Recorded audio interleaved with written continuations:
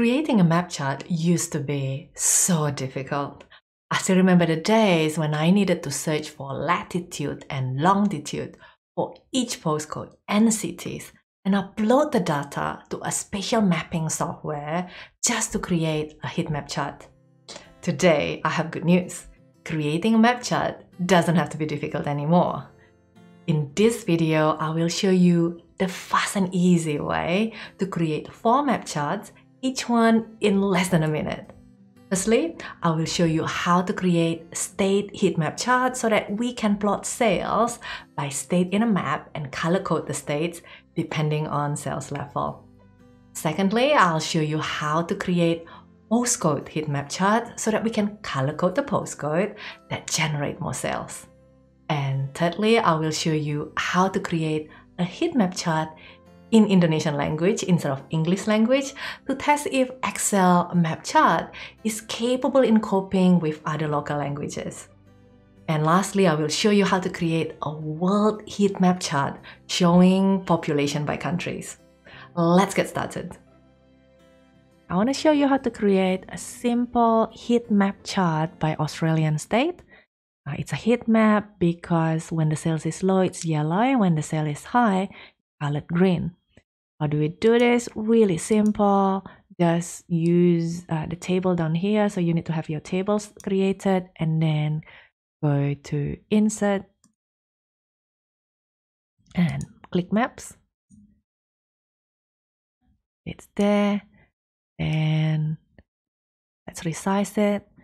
And then we need some labels. So just right click, format data series and hold on, right click add data labels. Yep, and then right click the labels, format data labels, and click the category name and the value that we have everything.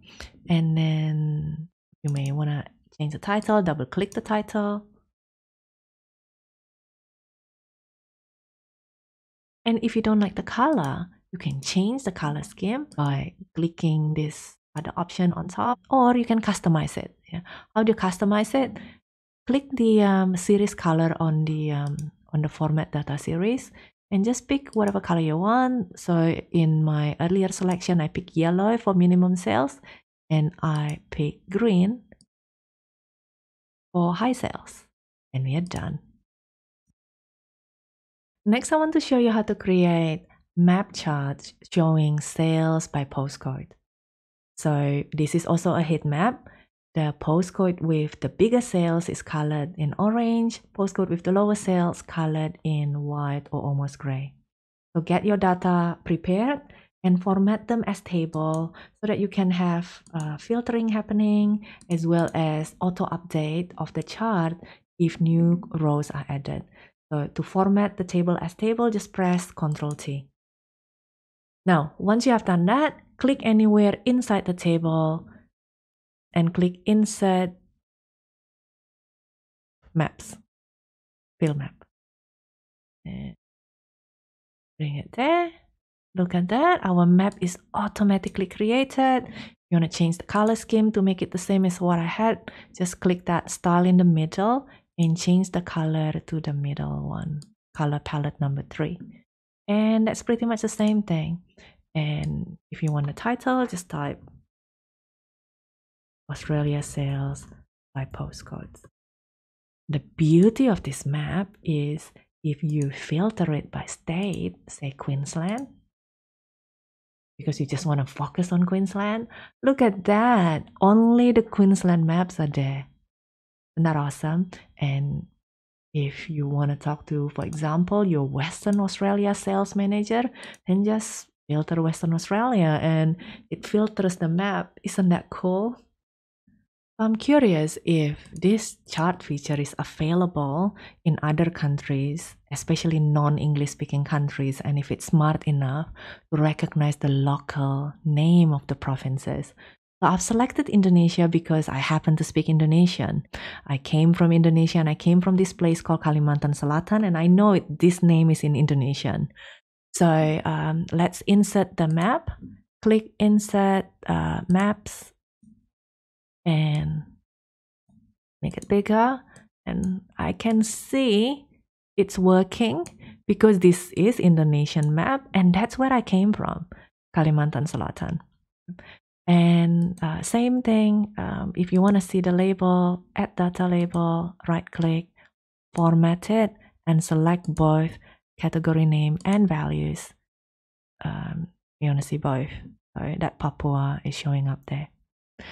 Now, if this is Indonesia and it recognizes the Indonesian names, my natural question is Does it recognize the English names of the Indonesian province?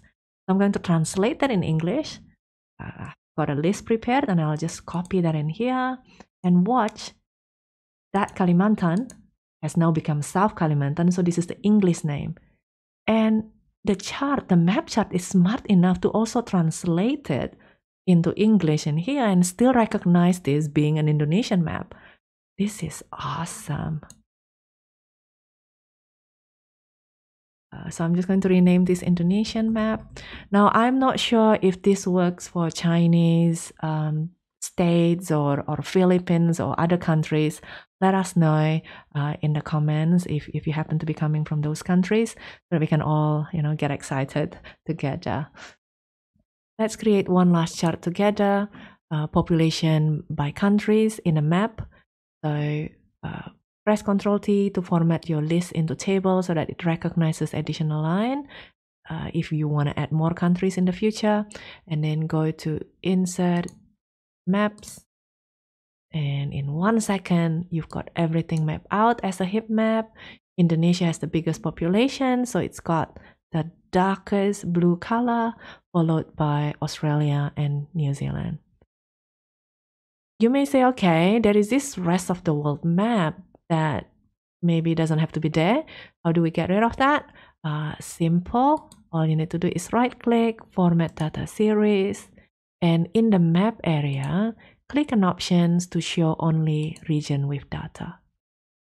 And boom, it's zooming into only the three relevant countries. Now, if you want to show the label, in here, right click add data labels. And then now you have the population and you can right click again, format data labels and show the country name and the values.